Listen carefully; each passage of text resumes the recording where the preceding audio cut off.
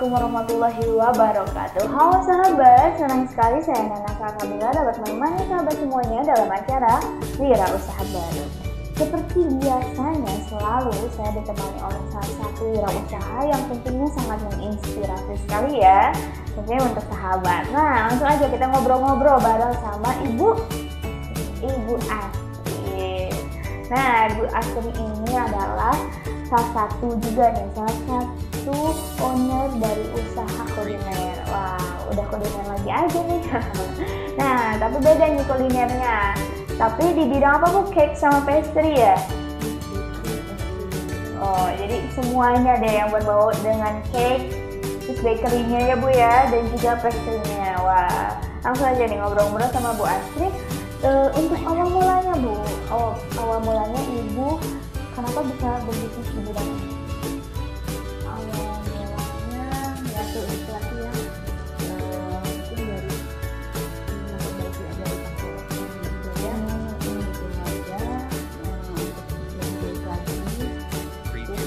Waktu. Karena sebelumnya saya bekerja juga Oh iya. Kalau boleh tahu di mana bu? saya dulu bekerja di salah satu komisi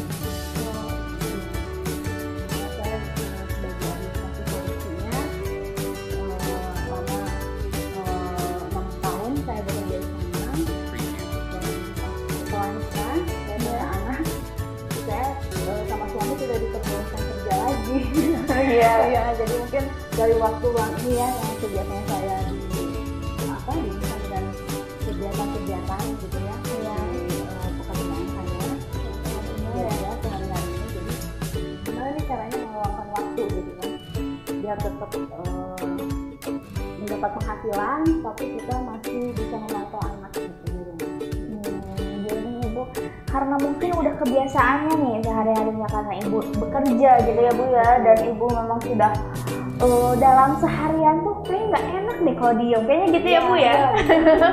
Karena nggak enak diemnya ini akhirnya ibu berusaha gitu ya bu ya. Akhirnya ibu memikirkan bagaimana nih agar saya tidak bisa diam nih tapi tetap menghasilkan. Akhirnya ibu membuat satu bisnis yaitu di bisnis bidang cake sama pastry ya bu ya dan bakery juga. Nah kenapa ibu memilih bidang itu Eh, mungkin dari dulu ya flashback dari dulu. Flashback. orang tua.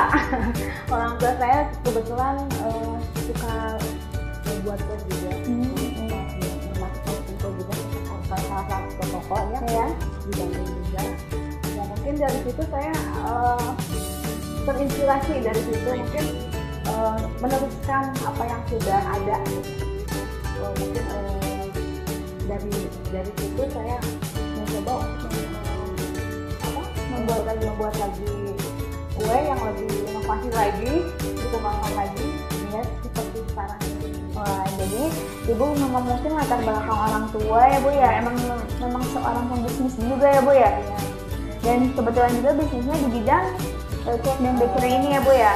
Jadi ibu orang tua dulu jajanan pasar gitu hmm, beda tipis lah ya. Tapi masih masih kuliner gitu ya bu ya? Jadi orang tua mungkin emang bisnis juga tapi bisnisnya di bidang kuliner yang di jalan pasar gitu ya bu ya? Dan ibu sekarang menginovasikannya dengan membuat cake dan bakery. Ibu belajar mungkin ya dari orang tua ibu bagaimana cara untuk membuatnya ya bu ya? Dan pengen tahu juga ibu udah berapa lama? 8 tahun 8 tahun Wah, jadi semenjak ibu setelah nikah mungkin ya bu ya ibu langsung memulai mempelajarinya dan ibu mengimplementasikannya jadi emang waktunya cukup singkat ya Iya cukup singkat juga karena eh, kalau ini mah eh, sebetulnya dari dulu ya, cuma lebih fokusnya lagi 8 tahun ini. Beda dengan dulu hanya mungkin eh, lewat tetangga aja, Hmm. sekitar aja gitu kan, pesanan-pesanan gitu. Saya kembangkan lagi menjadi memasukkan kue ke toko-toko Bandung Timur gitu. Jadi kayaknya kalau misalnya bagi sahabat yang kebetulan tinggalnya ada di Bandung Timur, ah jangan-jangan itu ada produknya Ibu Astri nih, ya Bu ya. Nah, dengan dilabeli nama brandnya apa Bu? Betrin. Betrin. Itu terinspirasi dari nama Ibu. ya sebelum dulu ya eh, namanya Jasmine dari anak saya yang paling kedua namanya Jasmine cuman eh, kebetulan saya ikut wirausaha baru nih bu. Terus, eh, kita ada fasilitas untuk kakinya ternyata nama Jasmine udah ada yang pakai jadi diganti menjadi The Prince. Jadi namanya The ya Prince. kalau The Prince sih mungkin berjalannya dari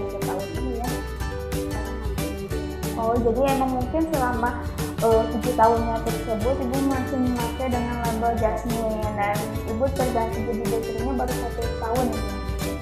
Nah, Nah, setelah itu akhirnya ibu memutuskan untuk melanjutkannya lebih dalam lagi ya bu ya. Dan dengar-dengar nih, katanya Bu Astrid ini eh, memiliki sebuah kafe ya ya kebetulan saya di kota Bandung.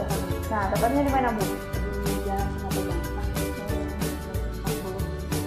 Itu kafenya khusus chef dan bakery aja atau gimana bu? Eh, karena banyak sih sebenarnya variannya bukan hanya fish and bakery aja ya.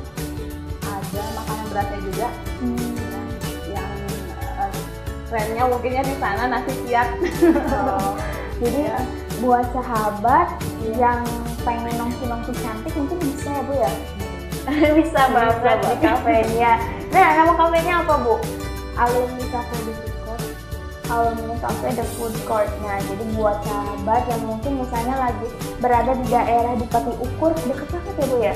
Dekat banget, bisa belok sebelah kanan langsung nemuin nah kafenya. Dan bisa dicobain juga nih, ada beberapa menu juga yang terdapat di kafenya tersebut. Ternyata tidak hanya ada cake dan bakery aja, tapi makanan berat juga ada. Jadi emang ini cocok banget buat mungkin mahasiswa juga ya bu ya yang Iya. biasa senang nongki-nongki ya bu ya atau bisa kita kita nih yang masih muda bisa juga nah buat sahabat makanya jangan ke mana-mana tetap masih di Wira Usaha Baru Preview.